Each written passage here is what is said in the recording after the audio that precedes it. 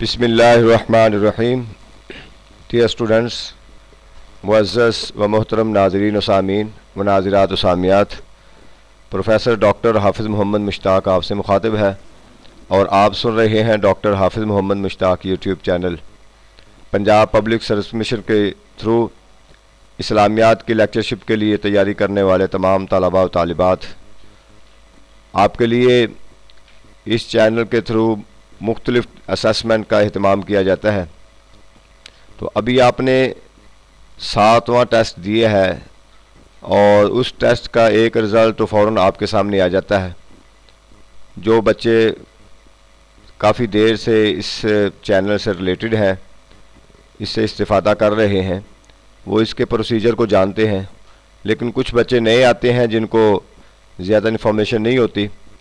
اس لیے میں یہ ساتواں جو اسسمنٹ ہے ٹیسٹ ہے، اس کا سلوشن اور اس پر جو ہے ڈسکشن وہ آپ کے سامنے پیش کر رہا ہوں۔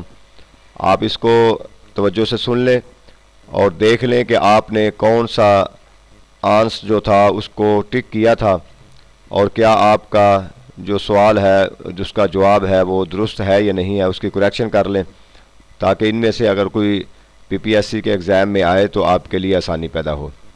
تو سب سے پہلا کویشچن تھا، انبیاء کے بعد افسہ الناس کون ہے؟ تو اس کا کریکٹ آنسر ہے حضرت علی رضی اللہ تعالیٰ عنہ۔ کسی بچے نے یہ کہا تھا کہ حضرت ابوبکر صدیق رضی اللہ تعالیٰ عنہ نہیں ہے۔ تو یہ دیکھیں کہ حضرت ابوبکر صدیق رضی اللہ تعالیٰ عنہ وہ افضل الناس ہیں۔ یعنی انبیاء کے بعد سب سے افضل لوگوں میں سے یہ لقب اور یہ شان حضرت ابوبکر صدیق کی ہے۔ یہاں پہ افسہ الناس فصاحت و بلاغت کی بات ہو رہی ہے۔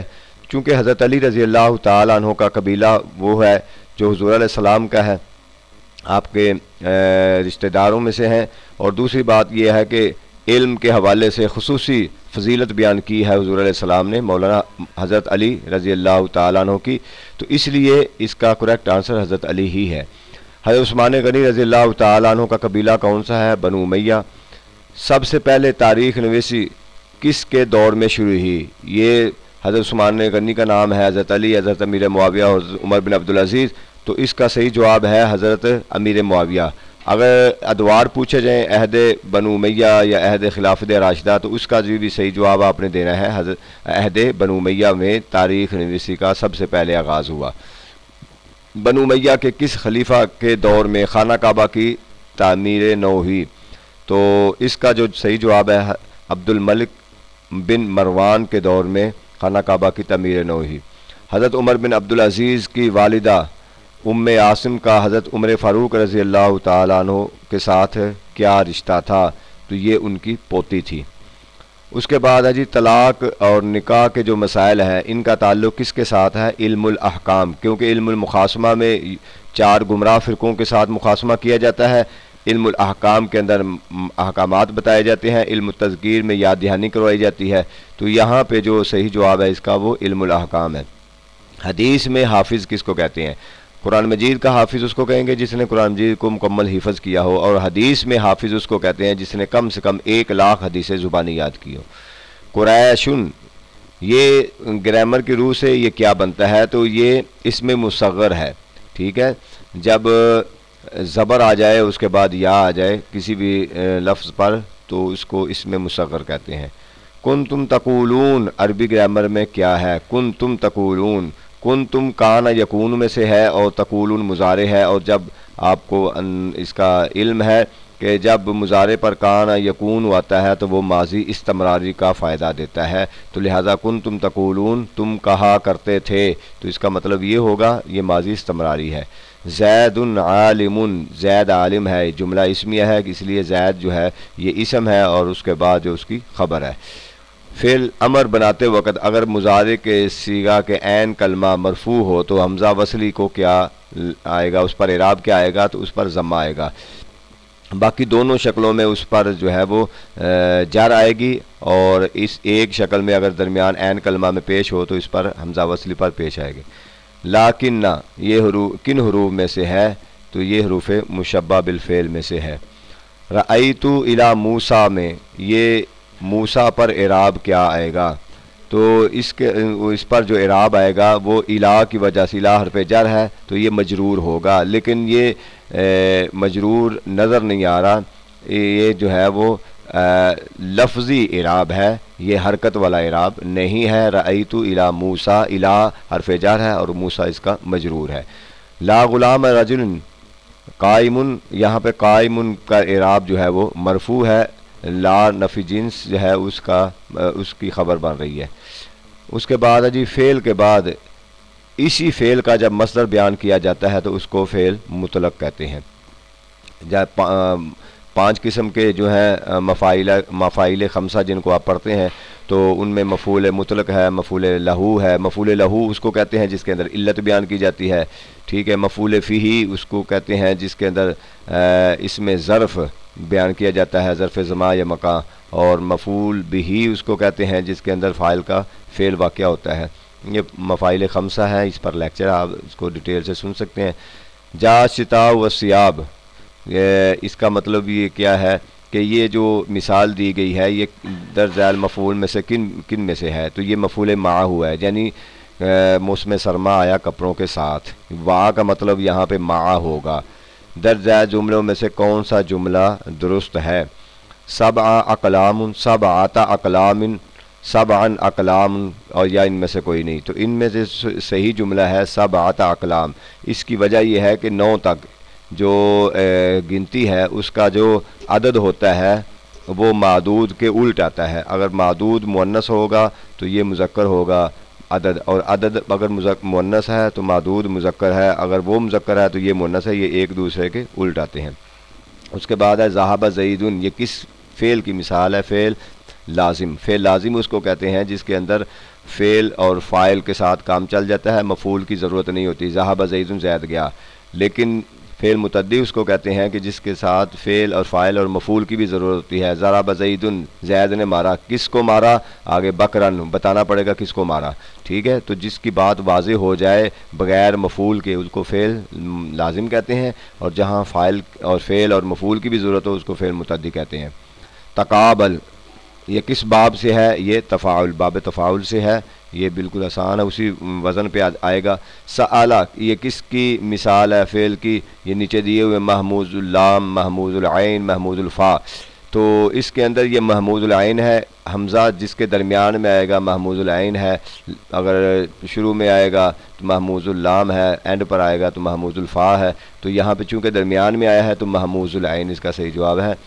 اس کے بعد ہے جی درج ذیل نصوص میں سے قیاس کے کون سے قریب تر ہے تو یہ جو عبارت النس ہے، اشارت النس ہے، دلالت النس ہے، اقتداء النس اس کے اندر جو ہے دلالت النس دلالت النس اس کو کہتے ہیں کہ جو علت کی بنیاد پر اصل سے فرا کی طرف سفر کیا جاتا ہے یا اس پر حکم لگایا جاتا ہے، تو قیاس میں بھی یہی ہوتا ہے کہ اصل اور فرا کے درمیان جو کوئی حکم لاگو کیا جاتا ہے فرا پر، وہ علت کی بنیاد پر ہوتا ہے۔ تو قیاس کے قریب تر ان میں سے کون سی ہے؟ دلالت النس کس صحابی کی آخری عمر میں بنائی جاتی رہی؟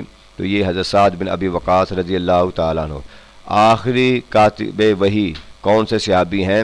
یہ ابی ابئی بن کعب رضی اللہ تعالیٰ عنہ۔ اسلام کے پہلے شہید حارث بن ابی حالہ رضی اللہ تعالیٰ عنہ کا حضرت خدیجہ رضی اللہ تعالیٰ عنہ کے ساتھ کیا تعلق تھا؟ یہ ان کے بیٹے تھے۔ قرآن مجید کی کتنی صورتیں ہیں جن کا آغاز الحمدللہ سے ہوتا ہے، یہ پانچ صورتیں ہیں۔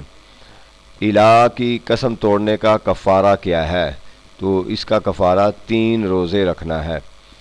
اس کے بعد جی غزوہ خندق میں کفار کا محاصرہ کتنے دن جاری رہا؟ بائیس دن جاری رہا۔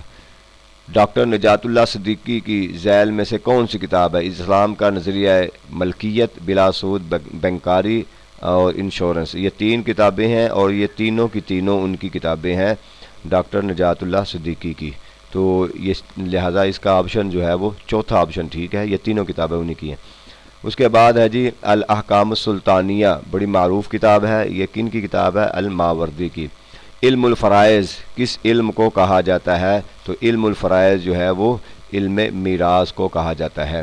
قرآن مجید میں حضور نبی اکرم صلی اللہ علیہ وسلم کو کتنی مرتبہ نبی کے نام سے پکارا گیا ہے، تو اس کا صحیح جواب ہے، تیئیس مرتبہ۔ صورت الوداع کس صورت کو کہتے ہیں؟ صورت النصر کو کہتے ہیں۔ اس اور یہی صورت ہے، اگر یہ سوال اور حوالے سے بھی پوچھا جائے کہ کس صورت کے نازل ہونے پر ابو بکر صدیق رضی اللہ تعالیٰ عنہ نے رونا شروع کر دیا، وہ بھی یہی صورت ہے۔ اس کی وجہ یہ تھی کہ اشارہ تھا کہ حضور علیہ السلاۃ والسلام کے وصال کی طرف۔ سورہ یاسین سے صورت الحجرات تک کی صورتیں جو ہیں وہ کیا کہلاتی ہیں؟ المسانی المسانی صورتیں ہیں، ان کے اتوال ہیں۔ المفصل ہیں، وہ ساری چیزیں آپ نے پڑھ چکے ہیں، اس کو آپ ڈیٹیل میں دیکھ لیں۔ اشفا کس مسلمان سائنسدان کی کتاب ہے، تو یہ ابن سینا کی کتاب ہے۔ نظریہ اضافت کس نے پیش کیا؟ یہ آئنسٹائن نے پیش کیا۔ معلم ثانی کس کو کہتے ہیں؟ الفارابی کو۔ معلم اول ارستو کو اور معلم ثانی الفارابی کو کہتے ہیں۔ کرا امبی کے موجد کون ہیں؟ یہ جابر بن حیان ہیں کیونکہ کیمسٹری کا فارمولے ہیں اور کیمسٹری کے ماہرین میں سے اور بلکہ بانیوں میں سے جابر بن حیان ہیں اور امام جعفر صادق کے شاگرد ہیں۔ اس کے بعد ہے جی لفظ سائنس کس زبان کا لفظ ہے؟ یہ لاطینی زبان کا لفظ ہے۔ در ذیل کتب میں سے عمر خیام کی کون سی کتب ہیں؟ یہ تین کتابیں ہیں عمر خیام، اور تینوں کی تینوں انہی کی ہیں۔ التاریخ، الجلالی، الجبر والمقابلہ یعنی اس کا صحیح جو آپ چوتھا آپشن ہے یہ تینوں کتابیں انہی کی ہیں۔ والا قد کرمنا بنی آدم۔ اس کا ترجمہ کیا ہے؟ ہم نے بنی آدم کو عزت بخشی۔ ٹھیک ہے؟ فضیلت بخشی، عزت بخشی۔ تو یہ اس کا صحیح جواب ہے۔ دوسرا آپشن اشور سے کیا مراد ہے؟ اشور سے مراد یہ ہے کہ یہ جو تجارتی ٹیکس ہوتا ہے، آپ کی سرزمین جو ہے دوسرے ممالک کے لوگ استعمال کرتے ہیں تجارت کی غرض سے، تو آپ ان سے ٹیکس لیتے ہیں۔ یہ حضرت عمر فاروق رضی اللہ تعالیٰ کے دور میں شروع ہوا کہ جب مسلمانوں نے کہا کہ ہم جب کسی دوسرے ملکوں میں جاتے ہیں تو ہم سے وہاں سے گزرنے کا ٹیکس لیتے ہیں۔ تو حضرت عمر فاروق رضی اللہ تعالیٰ نے بھی یہ ٹیکس عائد کر دیا، اس کو اشور کہتے ہیں۔ تو جتنے بھی لوگ تجارت کی غرض سے آپ کے ملک سے تجارت لیتے ہیں، وصول کرتے ہیں، بیچتے ہیں مال کماتے ہیں، پیسے کماتے ہیں، تو اس غرض سے ان سے جو ٹیکس لیا جاتا ہے، اس کو اشور کہتے ہیں۔ علام الموقعین کے مصنف کون ہے علامہ ابن قیم الا کی مدت کتنی ہے؟ یعنی الا کے ذریعے جو طلاق ہو جاتی ہے، تو اس کی بعد، اس کے بعد عدت ہے اس کی چار مہینے۔ اس کے بعد ہے جی حضرت موسیٰ علیہ السلام، حضرت شعیب علیہ السلام کی خدمت میں کتنا عرصہ رہے؟ تو حضرت موسیٰ علیہ السلام اور ان کی خدمت میں آٹھ سال رہے۔ حضرت عیسیٰ علیہ السلام کے حواریوں کی تعداد کتنی ہے؟ یہ بارہ ہیں۔ اصحاب ایکا کی طرف کون سے نبی مبوس ہوئے؟ شعیب علیہ السلام۔ حضرت ابراہیم علیہ السلام کی پیدائش کہاں ہوئی؟ تو حضرت ابراہیم علیہ السلام کی پیدائش عراق میں ہوئی۔ اخوان المسلمین کی بنیاد کب رکھی گئی؟ انیس سو اٹھائیس میں۔ آدم ثانی، کس نبی کو کہا جاتا ہے؟ نو علیہ السلام کو، اور خطیب الانبیاء، کس نبی کا لقب ہے؟ حضرت شعیب علیہ السلام کا۔ تو یہ کویشچن تھے ففٹی ان میں سے آپ نے پہلے بھی بہت سارے بہتر کیے ہوں گے۔ اس کو مزید آپ ایک دفعہ دیکھ لیں تاکہ آپ کے لیے آسانی ہو۔ اللہ تعالی ہمارا حامی ناصر ہو۔ شکریہ۔